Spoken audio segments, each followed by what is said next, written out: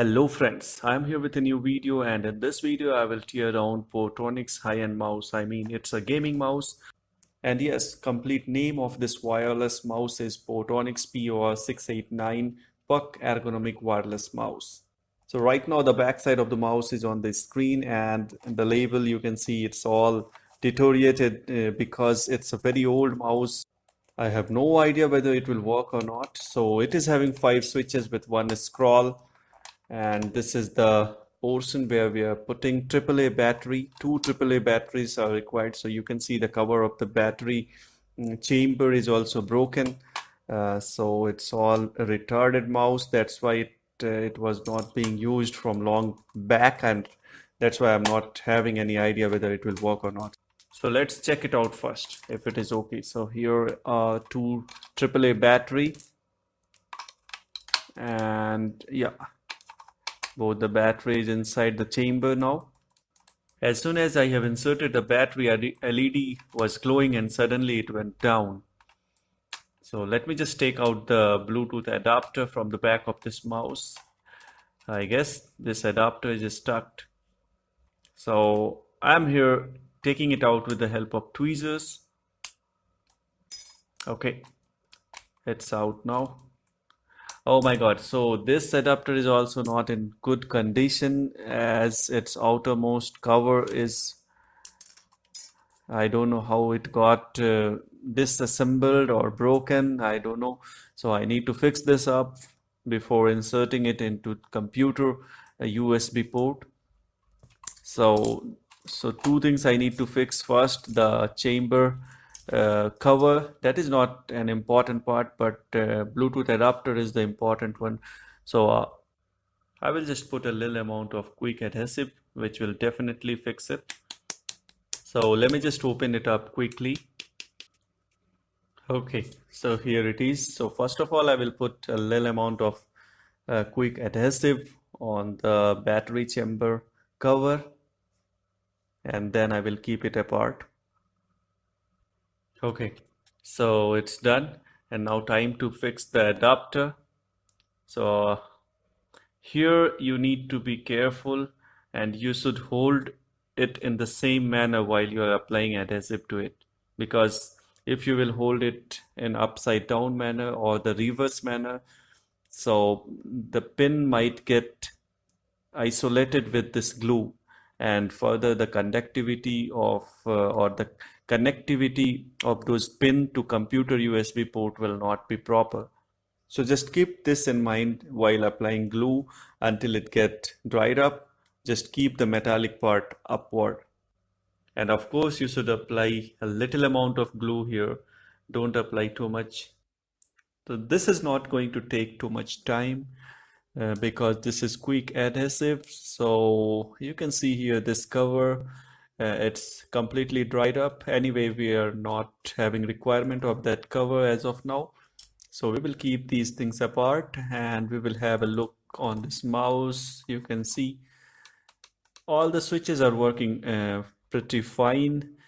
And the mouse structure is so good if you will hold it in your hand you will have a proper position to keep your thumb and, this is actually a gaming mouse so responses are also very good of this mouse. So you can see the clicks and all the keys are uh, so precisely uh, designed so that you could have a proper access to all the buttons. I guess this adapter is dried up as well as the cover also dried up. Anyway we will not use cover at this point of time so let me just bring the laptop to check the mouse whether it is working or not. Okay, now let me just insert the USB adapter into laptop USB port.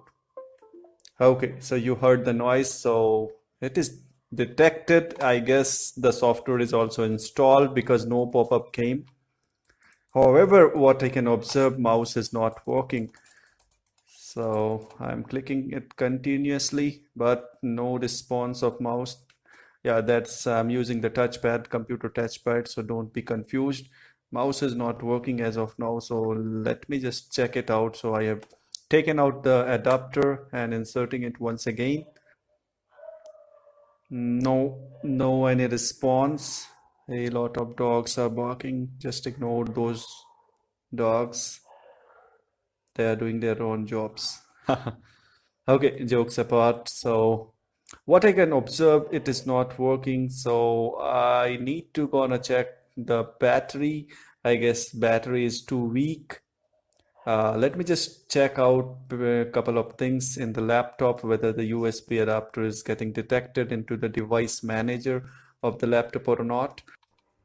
Before proceeding, uh, just do have a look on this battery. So for one battery, I'm damn sure that it is good, but for another battery, it is uh, too old. So I'm not sure whether it is the problem of weak battery. Uh, because the connectivity between uh, mouse and the adapter is not uh, proper that's why uh, that's might be the possibility why cursor is not moving uh, on computer screen. Anyway we will check device manager first. So here is the device manager clicking on it and it is opening now. Need to hold for a moment hold on for a moment and it is loading all the hardware and peripheral information. Uh, let me just insert the USB adapter. Okay so now it is inserted and device manager refreshed uh, I'm searching for the adapter I guess this is not the location. Human interface device is the one where it should get detected. So there are many adapters and peripherals. I have taken out the adapter now. So one is uh, you can see there is only three options remaining. So I will insert it again. The USB adapter. Okay so I'm getting one more option. So it means adapter is proper. Adapter is getting detected properly into device manager. But uh, the connectivity between uh, mouse and the adapter is not proper. It might be possible due to weak battery strength. This is happening. So I guess I need to grab a couple of new battery to check this out. Uh, that is uh, of course a AAA battery. So here I can see LED uh, on the mouse is glowing, but it is not glowing properly. So this that's why I'm doubting for this, uh, like I'm doubting for the battery. So that I will check later. So let's leave this part here and we will move to another part of the video in which I am going to tear down this mouse. To, we will check what is inside this mouse, what is inside this sophisticated gaming mouse, uh, the high-end mouse. So uh, let's move on to that part. Okay, so let's open it up. So I have removed battery and the dongle from the back of the mouse. And further, you need to open uh, this mouse using a sharp tool. There is no any screw visible from outside. First of all, you need to open this middle part of the mouse using a sharp object as I am using in all my teardown videos.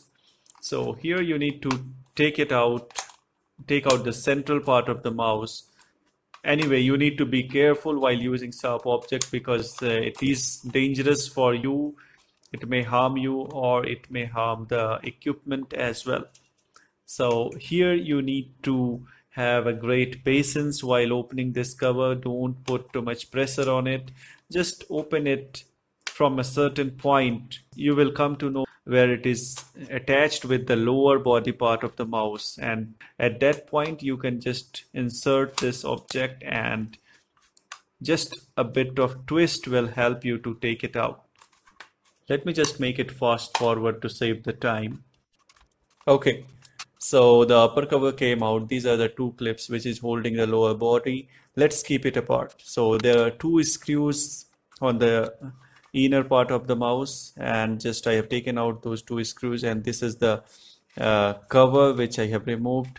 So there are two PCBs. One is dedicated for switches and scrolls and other things, and other PCB is for the CMOS sensor and LED, those things. So uh, upper PCB is connected to lower PCB with a uh, cable. Let me just take out this cable. It's very easy to take it out. Just having a plug, which is very easy to detach from the lower PCB.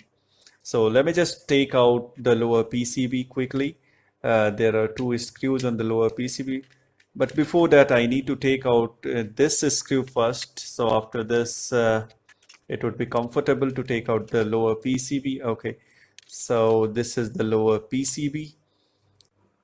Let me just give you a close look of this PCB. So this is CMOS sensor and I can observe there is a there is a bit of dirt particle on the nozzle I mean the whole of the CMOS sensor where it is capturing an image, the surface image. So that I have explained in my previous video in which I have explained a simple Bluetooth mouse. So uh, if you are not aware with the uh, process how mouse is working, you can just watch my previous video by clicking on I uh, on the right hand side top corner of the video section, current video section, you will get the link there. And the same thing for this. This also I have explained in my previous video how mouse works and how what is the role of this part uh, how this how this part is transmitting or or deviating the light path uh, from from surface to lens and from lens to CMOS sensor so all this has been explained in my previous video uh, like how mouse how a mouse works. So uh, the same thing I will tell you again. Uh, it is uh, if you will click on I, you will get the link of that video. Anyway, so I have cleaned up uh, everything, mostly the optical part, uh, like which is responsible for light reflection and detection of the surface so that the mouse could detect the movement on the surface. So that that part is done. And now I am fixing the lower PCB I guess I need to adjust it in a proper manner. Anyway so I will just move it fast forward to save the time. It's just the fixing of PCB just placing everything back to its position. Okay so it is 10x faster now and lower part is completed. So let's keep that apart and let's check the upper part. So let me just unscrew it first. I will just move it fast forward once again to save the time. Okay. So it is done. Uh, so this is the upper PCB so you can see two switch uh, on the left hand side and front uh, front side is having the left and right clicks and one is scroll button as well. So I'm just taking out the lower uh, plastic cover. It is having two clips on the front side. Just I will just remove these two clips. I'm just trying to show you properly. So you can see these two clips. I will just move it apart from the PCB okay now it came out. So this is the back side of the PCB uh, let me just focus the camera. The main problem is why this mouse was not getting used uh, because of this wheel. So whenever I'm scrolling that uh, it was it was not working properly. Sometimes it is working very rapidly uh, sometimes it is not working at all so uh, I guess there might be some problem with the uh, scroll sensor where I have fixed it now. But one more thing, uh, one more possibility is there. This sensor is, and this scroll wheel is having one rubber covering on the top of the wheel. So that that might be one of the uh, reason. So sometimes I observed that if you will move the scroll wheel in some mouse, so the cover will move, but the wheel will not rotate.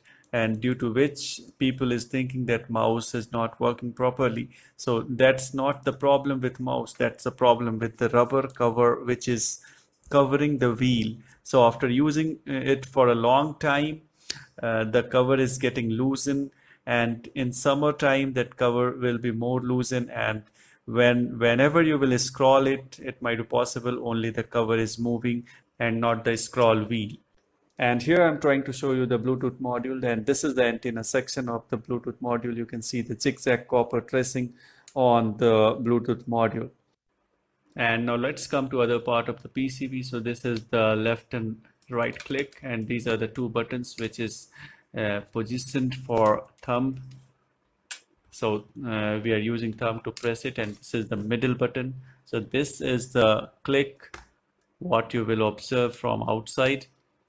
The center click this is the button.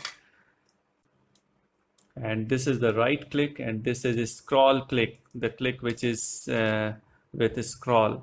So if I will fix it here so now you can see the scroll. If you will press the scroll uh, that will also make a click. So I guess you are aware with the functionality of a scroll click. Anyway that's it uh, in the upper PCB there is nothing much. And let's fix up this uh, plastic casing the lower casing. Oh but before moving further I forgot one thing. So I need to glue up the uh, this rubber this rubber casing over the scroll wheel. I need to glue it up. So I will use uh, no I will not use this fast adhesive to uh, apply on the wheel. I will just use Fevicol.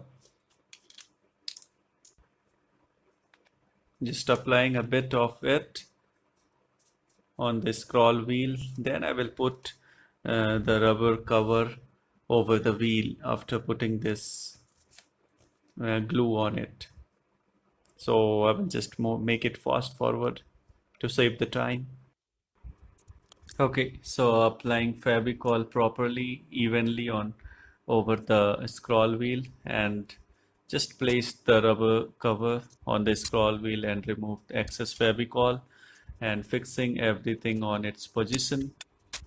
And now time to fix the upper PCB to the upper part of the body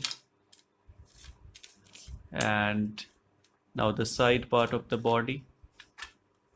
Again I need to make it fast forward just to show you I have just slowed down the video for a moment. So this I need to fix it on this part of the mouse the lower chassis. Okay so just fixing the screw and then fixing the wire fixing the right side right part of the mouse so now it is completed, just fix the front and the back screw. And now time to fix this middle part. So just uh, you need to place it properly on its position and apply a bit of pressure on it and it will be fixed with a click sound. Uh, I, I guess two or three click sound was there. So it is okay now. Mouse is properly fixed. And now I need to purchase new AAA battery to check it out. Anyway I'm placing the battery once again to check it out. However I guess this is worthless for this time because I need to grab new battery and I need to check this with a new battery however I guess you got internal hardware details of this mouse how hardware uh, arranged inside this high-end gaming mouse. Uh, so working functionality and everything is same, but a little bit of design and little bit of add-on uh, of extra buttons on the mouse is making it attractive and so easy to use for gaming and uh, some other tasks like like graphic related works. So that's it in this video. And if you found this video informational and knowledgeable, please do like this video, share this video with the needy people uh, so that they could get help from this video and subscribe my channel for the latest updates. And guys, one more important thing. Do press the bell icon and enable the notification to get quickly notified about my new videos. See you in the next video. Bye bye.